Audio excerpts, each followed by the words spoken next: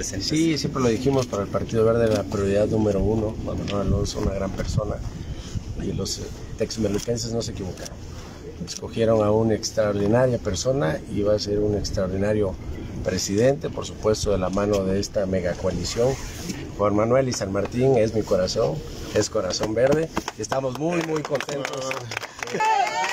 Por lo pronto saber que tengo un compromiso muy importante con mi municipio, con la gente que vive en él y que obviamente no, los no les vamos a fallar, no los vamos a defraudar, vamos a trabajar día a día, minuto a minuto, segundo a segundo por un mejor Texmeluca.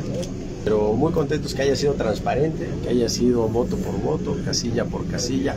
Esto legitima eh, esta elección y sin duda alguna le da certeza a todas las vecinas y vecinos de San Martín Texmelucan y yo estoy convencido que no se han equivocado.